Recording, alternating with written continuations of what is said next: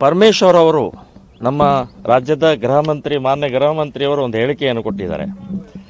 ಜೈನ ಧರ್ಮ ಹುಟ್ಟಿದ್ದು ಗೊತ್ತು, ಬೌದ್ಧ ಧರ್ಮ ಹುಟ್- ಹುಟ್ಟಿದ್ದು ಗೊತ್ತು.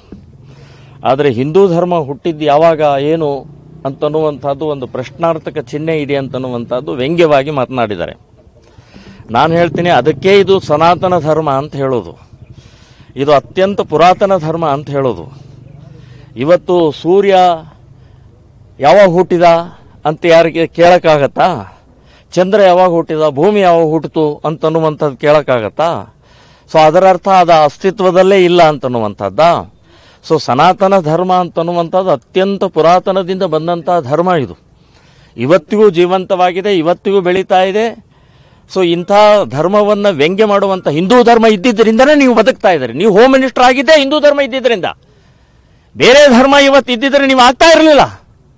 ನಿಮ್ಮನ್ನು ಕೂಡಿಸ್ತಾ ಇರಲಿಲ್ಲ ಆ ಸ್ಥಾನದಲ್ಲಿ.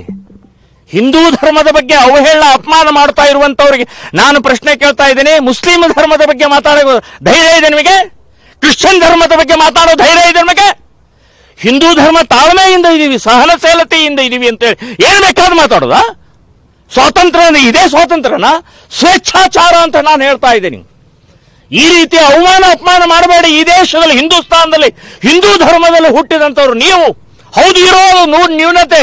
ಯಾವ ಧರ್ಮದಲ್ಲಿಲ್ಲ, ಯಾವ ಜಾತಿಯಲ್ಲಿ ನ್ಯೂನತೆ ಇಲ್ಲ, ಹೇಳಿ. ಮುಸ್ಲಿಮರಲ್ಲಿಲ್ವಾ, ಕ್ರಿಶ್ಚಿಯನ್ರಲ್ಲಿಲ್ವಾ, ಬೌದ್ಧ ಧರ್ಮದಲ್ಲಿಲ್ವಾ, ಜೈನ್ ಧರ್ಮದಲ್ಲಿಲ್ವಾ? ಎಲ್ಲ ಕಡೆಗೂ ನ್ಯೂನತೆ ಇದಾವೆ ನ್ಯೂನತೆಯನ್ನು ಸರಿ ಮಾಡುವಂತಹ ಪ್ರಯತ್ನವನ್ನು ಮಾಡೋಣ. ಆದರೆ ಹಿಂದೂ ಧರ್ಮವನ್ನ ನಾಶ ಮಾಡ್ತೀನಿ ಅಂತ ಹೇಳುವಂತ ಈ ಧಾರ್ಷ್ಟತನ ಈ ನೀಚತನ ಆಗುವುದಿಲ್ಲ. ಸಾವಿರಾರು ವರ್ಷದಿಂದ ಇಂಥ ಪ್ರಯತ್ನಗಳು ಬೇಕಾದಷ್ಟಾದರೂ ಕೂಡ ಇವತ್ತಿಗೂ ಜೀವಂತ ಇರುವಂಥ ಏಕೈಕ ಧರ್ಮ ಅಂತಂದ್ರೆ ಇದು ಹಿಂದೂ ಧರ್ಮ.